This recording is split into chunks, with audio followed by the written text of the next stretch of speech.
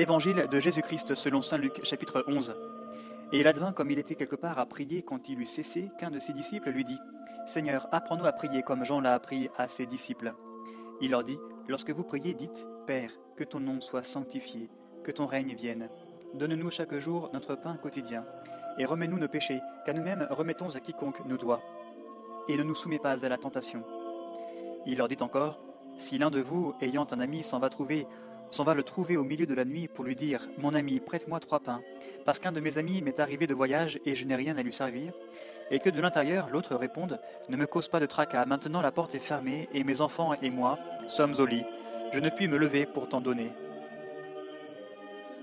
Je vous le dis, même s'il ne se lève pas pour les lui donner en qualité d'ami, il se lèvera du moins à cause de son impudence, et lui donnera tout ce dont il a besoin. Et moi, je vous dis, Demandez et l'on vous donnera, cherchez et vous trouverez, frappez et l'on vous ouvrira. Car quiconque demande reçoit, qui cherche trouve, et à qui frappe on ouvrira. Quel est d'entre vous le père auquel son fils demandera un poisson, et à qui, à la place du poisson, lui remettra un serpent? Ou encore, s'il demande un œuf, lui remettra-t-il un scorpion? Si donc vous qui êtes mauvais, vous savez donner de bonnes choses à vos enfants, combien plus le Père du ciel donnera-t-il l'Esprit Saint à ceux qui l'en prient? Il expulsait un démon qui était muet. Or, il advint que le démon étant sorti, le muet parla, et les foules furent dans l'admiration. Mais certains d'entre eux dirent C'est par Béelzéboul, le prince des démons, qu'il expulse les démons. D'autres, pour le mettre à l'épreuve, réclamaient de lui un signe venant du ciel. Mais lui, connaissant leurs pensées, leur dit Tout royaume divisé contre lui-même est dévasté, et maison sur maison s'écroule. Si donc Satan s'est lui aussi divisé contre lui-même, comment son royaume se maintiendra-t-il? Puisque vous dites que c'est par Béelzéboul que j'expulse les démons. Mais si moi, c'est par Béelzéboul que j'expulse les démons, vos fils, par qui les expulsent-ils? Aussi seront-ils eux-mêmes vos juges. Mais si c'est par le doigt de Dieu que j'expulse les démons, c'est donc que le royaume de Dieu est arrivé jusqu'à vous. Lorsqu'un homme fort et bien armé garde son palais, ses biens sont en sûreté. Mais qu'un plus fort que lui survienne et le batte, il lui enlève l'armure en laquelle il se confiait, et il distribue ses dépouilles. Qui n'est pas avec moi est contre moi, et qui n'amasse pas avec moi dissipe. Lorsque l'esprit impur est sorti de l'homme, il erre par des lieux arides en quête de repos. N'en trouvant pas, il dit Je vais retourner dans ma demeure d'où je suis sorti. Étant venu, il la trouve balayée, bien en ordre. Alors il s'en va prendre cet autre esprit plus mauvais que lui, ils reviennent et y habitent. Et l'état final de cet homme devient pire que le premier. Or, il advint, comme il parlait ainsi, qu'une femme éleva la voix du milieu de la foule et lui dit Heureuses les entrailles qui t'ont porté et les seins que tu as sucés. Mais il dit Heureux plutôt ceux qui écoutent la parole de Dieu et l'observent. Comme les foules se pressaient en masse, il se mit à dire Cette génération est une génération mauvaise. Elle demande un signe, et de signe, il ne lui sera donné que le signe de Jonas. Car tout comme Jonas devint un signe pour les Nénivites, de même le Fils de l'homme en sera un pour cette génération. La reine du Midi se lèvera lors du jugement avec les hommes de cette génération, et elle les condamnera, car elle vint des extrémités de la terre pour écouter la sagesse de Salomon, et il y a ici plus que Salomon. Les hommes de Ninive se dresseront lors du jugement avec cette génération, et ils la condamneront, car ils se repentirent à la proclamation de Jonas, et il y a ici plus que Jonas. Personne, après avoir allumé une lampe, ne la met en quelque endroit caché ou sous le boisseau, mais bien sur le lampadaire, pour que ceux qui pénètrent voient la clarté. La lampe du corps, c'est ton œil. Lorsque ton œil est sain, ton corps tout entier aussi est lumineux, mais dès qu'il est malade, ton corps aussi est ténébreux. Vois donc si la lumière qui est en toi n'est pas ténèbre. Si donc ton corps tout entier est lumineux, sans aucune partie ténébreuse, il sera lumineux tout entier, comme lorsque la lampe t'illumine de son éclat. Tandis qu'il parlait, un pharisien l'invite à déjeuner chez lui. Il entra et se mit à table. Ce que voyant le pharisien s'étonna de ce qu'il n'eût pas fait d'abord les ablutions avant de déjeuner. Mais le Seigneur lui dit vous voilà bien, vous les pharisiens, l'extérieur de la coupe et du plat, vous le purifiez, alors que votre intérieur à vous est plein de rapines et de méchanceté. Insensé, celui qui a fait l'extérieur n'a-t-il pas fait aussi l'intérieur? Donnez plutôt en aumône ce que vous avez, et alors tout sera pur pour vous. Mais malheur à vous les pharisiens qui a quitté la dîme de la menthe, de la rue et de toute plante potagère, et qui délaissez la justice et l'amour de Dieu. Il fallait pratiquer ceci sans omettre cela, Malheur à vous les pharisiens qui aimez le premier siège dans les synagogues et les salutations sur les places publiques. Malheur à vous qui êtes comme les tombeaux que rien ne signale et sur lesquels on marche sans le savoir. Prenant alors la parole, un des légistes lui dit Maître, en parlant ainsi, tu nous outrages, nous aussi. Alors il dit À vous aussi, les légistes, malheur, parce que vous chargez les gens de fardeaux impossibles à porter, et vous-même ne touchez pas à ces fardeaux d'un seul de vos doigts. Malheur à vous parce que vous bâtissez les tombeaux des prophètes, et ce sont vos pères qui les ont tués. Vous êtes donc des témoins, et vous approuvez les actes de vos pères. Eux ont tué, et vous, vous bâtissez. Et voilà pourquoi la sagesse de Dieu a dit, Je leur enverrai des prophètes et des apôtres, ils en tueront et pourchasseront, afin qu'il soit demandé compte à cette génération du sang de tous les prophètes qui a été répandu depuis la fondation du monde, depuis le sang d'Abel jusqu'au sang de Zacharie qui périt entre l'autel et le temple. Oui, je vous le dis, il en sera demandé compte à cette génération. Malheur à vous, les légistes, parce que vous avez enlevé la clé de la science. Vous-même n'êtes pas entrés, et ceux qui voulaient entrer, vous les en avez empêchés. Quand il fut sorti de là, les scribes et les pharisiens se mirent à lui en vouloir terriblement et à le faire parler sur une foule de choses, lui tendant des pièges pour s'opprendre de sa bouche quelques paroles. Évangile de Jésus-Christ selon Saint Luc, chapitre 12.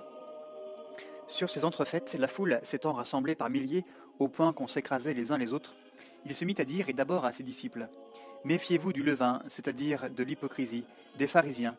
Rien en effet n'est voilé qui ne sera révélé, rien de caché qui ne sera connu. C'est pourquoi tout ce que vous aurez dit dans les ténèbres sera entendu au grand jour, et ce que vous aurez dit à l'oreille dans les pièces les plus retirées sera proclamé sur les toits. Je vous le dis à vous, mes amis, ne craignez rien de ceux qui tuent le corps et après cela ne peuvent rien faire de plus. Je vais vous montrer qui vous devez craindre. Craignez celui qui, après avoir tué, a le pouvoir de jeter dans la géhenne. Oui, je vous le dis, celui-là, craignez-le. Ne vantons pas cinq passereaux pour deux as, et pas un d'entre eux n'est en oubli devant Dieu. Bien plus, vos cheveux même sont tous comptés. Soyez sans crainte, vous valez mieux qu'une multitude de passereaux. Je vous le dis, quiconque se sera déclaré pour moi devant les hommes, le Fils de l'homme aussi se déclarera pour lui devant les anges de Dieu. Mais celui qui m'aura renié à la face des hommes sera renié à la face des anges de Dieu. Et quiconque dira une parole contre le Fils de l'homme, cela lui sera remis. Mais à qui aura blasphémé contre le Saint-Esprit, cela ne sera pas remis. Lorsqu'on vous conduira devant les synagogues, les magistrats et les autorités, ne cherchez pas avec inquiétude comment vous défendre ou que dire, car le Saint-Esprit vous enseignera à cette heure même ce qu'il faut dire. Quelqu'un de la foule lui dit, Maître, dis à mon frère de partager avec moi notre héritage. Il lui dit, Homme, qui m'a établi pour être votre juge ou régler vos partages? Puis il leur dit, Attention, gardez-vous de toute cupidité, car au sein même de l'abondance, la vie d'un homme n'est pas assurée par ses biens. Il leur dit alors une parabole. Il y avait un homme riche dont les terres avaient beaucoup rapporté, et il se demandait en lui-même, Que vais-je faire, car je n'ai pas où recueillir ma récolte? Puis il se dit, Voici ce que je vais faire. J'abattrai mes greniers, j'en construirai de plus grands, j'y recueillerai tout mon blé et mes biens, et je dirai à mon âme, mon âme, tu as quantité de biens en réserve. Pour de nombreuses années, repose-toi, mange, bois, fais la fête. Mais Dieu lui dit, Insensé, cette nuit même, on va te redemander ton âme, et ce que tu as amassé, qui l'aura? Ainsi en est-il de celui qui thésaurise pour lui-même, au lieu de s'enrichir en vue de Dieu. Puis il dit à ses disciples, Voilà pourquoi je vous dis, ne vous inquiétez pas pour votre vie, de ce que vous mangerez, ni pour votre corps de quoi vous le vêtirez, car la vie est plus que la nourriture, et le corps plus que le vêtement.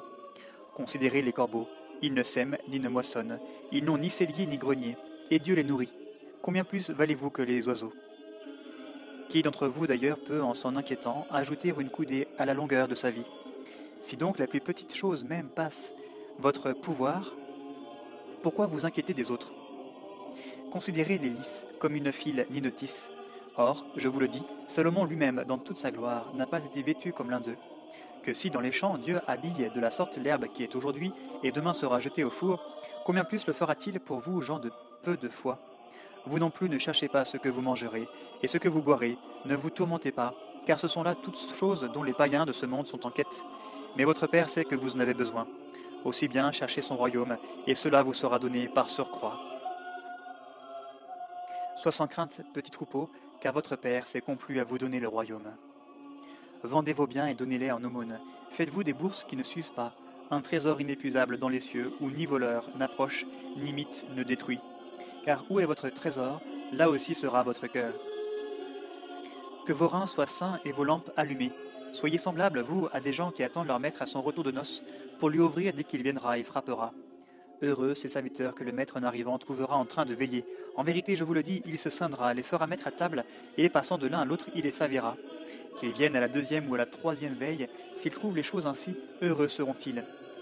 Comprenez bien ceci. Si le maître de maison avait su à quelle heure le voleur devait venir, il n'aurait pas laissé percer le mur de sa maison. Vous aussi tenez-vous prêts, car c'est à l'heure où vous ne pensez pas que le Fils de l'homme va venir. Pierre dit alors, Seigneur, est-ce pour nous que tu dis cette parabole, ou bien pour tout le monde? Et le Seigneur dit, Quel est donc l'intendant fidèle avisé que le Maître établira sur ses gens pour leur donner en temps voulu leur ration de blé? Heureux ce serviteur que son maître en arrivant trouvera occupé de la sorte. Vraiment, je vous le dis, il établira sur tous ses biens. Mais si ce serviteur dit en son cœur, Mon maître tarde à venir, et qu'il se mette à frapper les serviteurs et les servantes, à manger, boire et s'enivrer, le maître de ce serviteur arrivera au jour qu'il n'attend pas et à l'heure qu'il ne connaît pas. Il le retranchera et lui assignera sa part parmi les infidèles. Le serviteur qui connaissant la volonté de son maître n'aura rien préparé ou fait selon sa volonté recevra un grand nombre de coups. Quant à celui qui, sans la connaître, aura, par sa conduite, mérité des coups, il n'en recevra qu'un petit nombre.